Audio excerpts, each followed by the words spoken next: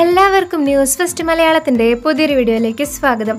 നടി ആക്രമിക്കപ്പെട്ട കേസിൽ നിർണായക വെളിപ്പെടുത്തലുകളുമായി മുന്നോട്ട് വന്ന ബാലചന്ദ്രകുമാറിനെതിരെ നൽകിയ പീഡന പരാതി വ്യാജ കേസായിരിക്കുമെന്നുള്ളത് തുടക്കത്തിൽ തന്നെ എല്ലാവർക്കും തോന്നിയിരുന്നുവെന്ന് നടിയും ഡബ്ബിംഗ് ആർട്ടിസ്റ്റുമായ ഭാഗ്യലക്ഷ്മി.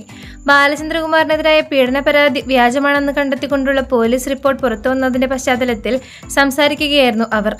അത്രമാത്രം വിശ്വാസത്തോടു കൂടിയായിരുന്നു ബാലചന്ദ്രകുമാർ തുടക്കം മുതൽ തന്നെ ഈ പരാതിയുമായി ബന്ധപ്പെട്ട് സംസാരിച്ചതെന്നും ഭാഗ്യലക്ഷ്മി പറയുന്നു. തനിക്കെതിരായ പരാതി തെളിയിക്കട്ടെ എന്ന് അദ്ദേഹം പറഞ്ഞു.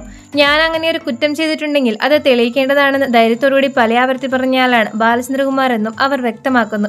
തനിക്കെതിരായ കേസിൽ ബാലചന്ദ്രകുമാർ പറഞ്ഞ അതേ കാര്യമാണ് നടി ആക്രമിക്കപ്പെട്ട കേസിലും ഞങ്ങൾ ആവശ്യപ്പെട്ടത്. ഈ കുറ്റകൃത്യത്തിൽ നിങ്ങൾക്ക് പങ്കില്ലെന്നുറപ്പുണ്ടെങ്കിൽ എന്തിനാണ് ഈ തരത്തിലുള്ള നാടകം കളിക്കുന്നത്?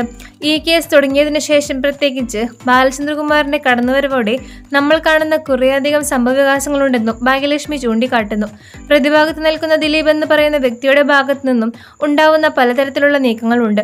വീഡിയോ ആണെങ്കിലും ഓഡിയോ ആണെങ്കിലും വിവിധ തരത്തിലുള്ള നാടകങ്ങളാണ് കാണുന്നത്. എനിക്കിതിലൊന്നും പങ്കില്ലെന്നാണെങ്കിൽ എന്റെ എല്ലാ മൊബൈൽ ഫോണുകളും പരിശോധിക്കാൻ നിരുപാധികം ഇത് വിട്ടുതരുന്നുവെന്ന് പറഞ്ഞു കൊടുക്കാം തനിക്ക് ഈ കുറ്റകൃത്യത്തിൽ ഒരു പങ്കുമില്ലെന്ന് ധൈര്യത്തോടെ പറയാൻ സാധിക്കണം. എനിക്ക് ഇക്കാര്യത്തിലൊന്നും ഒരു അറിവുമില്ല. അവർ ആരൊക്കെ ചെയ്തതാണെന്ന് നാളെ അദ്ദേഹം പറയുമായിരിക്കും. അങ്ങനെയാണെങ്കിൽ ഗൂഢാലോചനയിൽ പങ്കാളിയായ എല്ലാവരും ഇതിന് മറുപടി പറഞ്ഞേ മതിയാവുകയുള്ളൂ. ആർക്കു വേണ്ടിയാണ് നിങ്ങളിത് ചെയ്തത്? എന്തിനു വേണ്ടിയായിരുന്നതെന്നും അവർ പറയണമെന്നും ഭാഗ്യലക്ഷ്മി വ്യക്തമാക്കുന്നു. അപ്പോൾ കൂടുതൽ ന്യൂസ് അപ്ഡേറ്റ്സുകൾക്കായി ഈ ചാനൽ മറക്കാതെ സബ്സ്ക്രൈബ് ചെയ്യൂ.